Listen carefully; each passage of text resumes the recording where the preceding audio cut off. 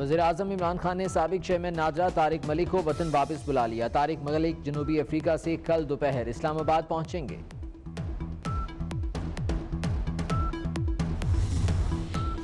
जुल्फी बुखारी का नाम ईसीएल से निकाल दिया गया। इस्लामाबाद हाईकोर्ट ने 12 दिसंबर को नाम एग्जिट कंट्रोल लिस्ट से निकालने का हुक्म दिया था।